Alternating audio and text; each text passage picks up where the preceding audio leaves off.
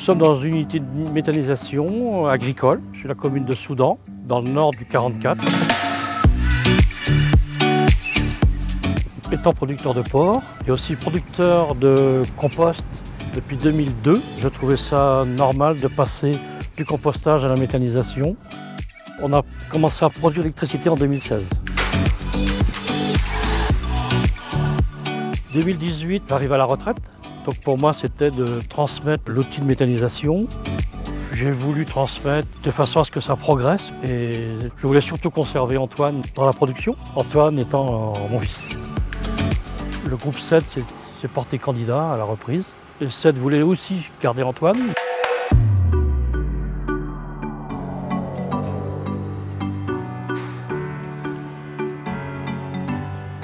Mon rôle sur le site, c'est de veiller au bon fonctionnement de l'unité de méthanisation, la bonne application des règles de sécurité et gérer les entrées et les sorties de, déchets.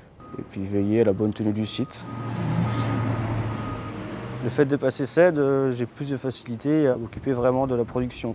Le fait que c'est un gros groupe, il faut s'appuyer sur tout le personnel déjà, les logisticiens, puis les, surtout le laboratoire pour le suivi biologique, qui est très important en méta. Je pense qu'on va dans le bon sens. On reste lié un peu au monde agricole. Il y a pas mal de projets, donc c'est gagnant-gagnant des deux, parties.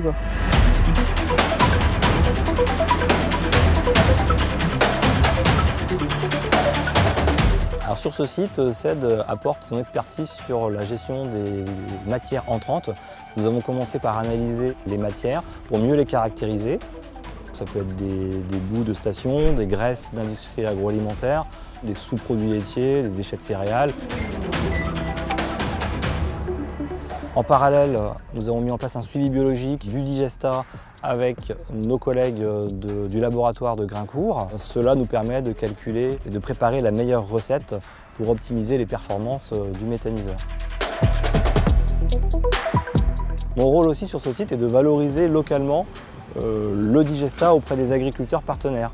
Cela leur permet de bénéficier d'un fertilisant bon marché et qui est rapidement assimilable par les plantes.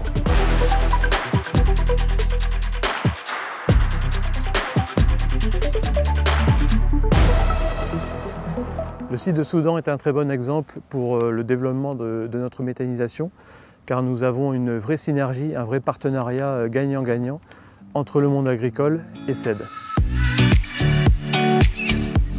Alors CED est un acteur euh, majeur de la méthanisation aujourd'hui. Nous valorisons 270 000 tonnes de matière organique en France et en Belgique. Mais nous voulons euh, poursuivre avec euh, d'autres sites euh, qui sont actuellement en projet et avec un partenariat, des synergies fortes entre le monde agricole et le monde industriel à travers une complémentarité également entre les intrants agricoles et les intrants d'origine agroalimentaire.